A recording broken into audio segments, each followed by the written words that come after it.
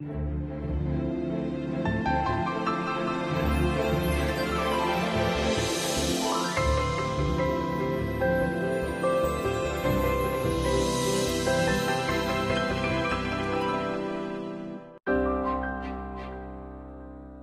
April 17, 2018, the press conference for the exhibition Princes and Princesses of Monaco, a European dynasty, 13th to 21st century, is held at the Bulgari Hotel, Beijing.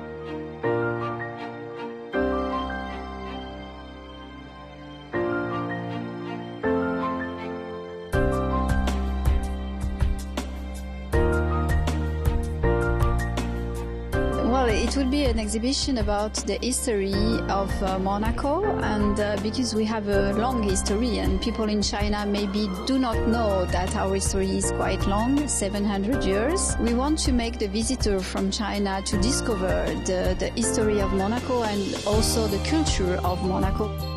I feel very proud. It's uh, three years of work after uh, with the Forbidden City uh, to reach uh, this uh, uh, cultural exchange. First of all, an exhibition about the Forbidden City in Monaco, and next fall, an exhibition of the collections of the Princely Palace of Monaco at the Forbidden City. Et maintenant, nous homologue la cité interdite. Euh, la sortie du trône était une des pièces emblématiques euh, que nous pouvons montrer grâce à, à l'accord du prince souverain de sortir cette pièce insigne des collections.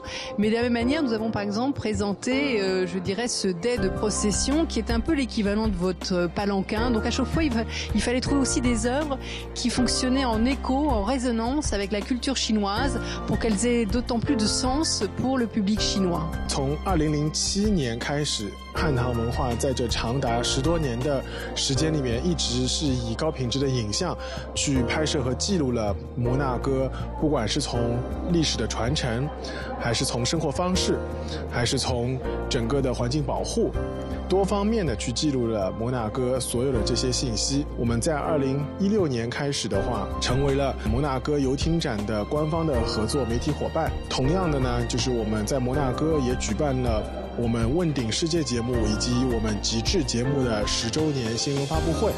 上海汉唐文化还是会继续的和摩纳哥保持这样子的合作，在各个角度去报道摩纳哥的活动。